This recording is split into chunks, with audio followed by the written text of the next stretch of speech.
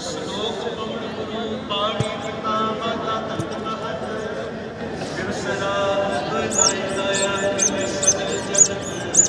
ਜਗਿਆਇਆ ਪਰਿਆਇਆ ਬਚਨ ਧਰਮਿਆ ਕੋ